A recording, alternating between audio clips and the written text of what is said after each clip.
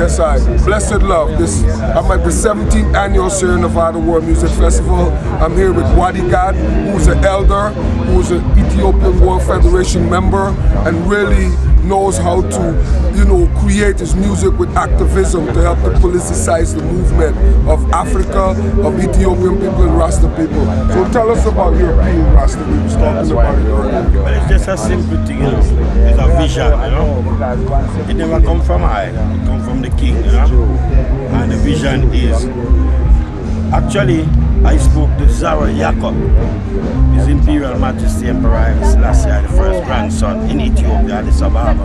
And he says to me, Wadi Gad, the musician from Jamaica and everywhere, they sing about my grandfather's vision, Ethiopian repatriation.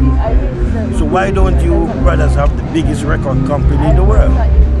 And I said, we, we don't have the company, but we will work on it. And I will be one of those persons who's going to start it. And I said, he, he, said to me that you have many elders working in the reggae music, and many of them is ailing from many illnesses.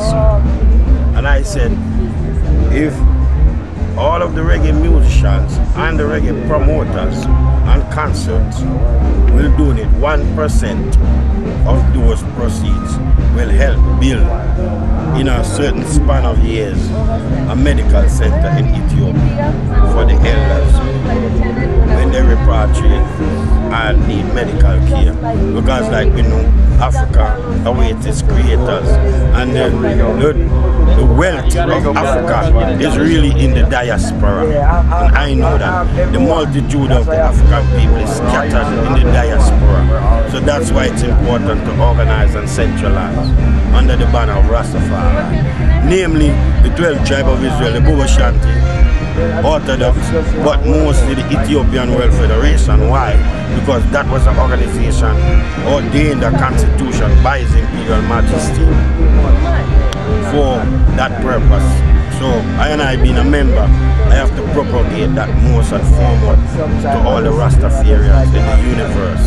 You know, it's something that we all need to be uplifted and educated and know of so that we can change the condition of our people in the West. And it's very important to I man as a Ras and I'm appealing to all the Rastas and all the reggae musicians in the world to let's get rally around the red, gold and green like we sing.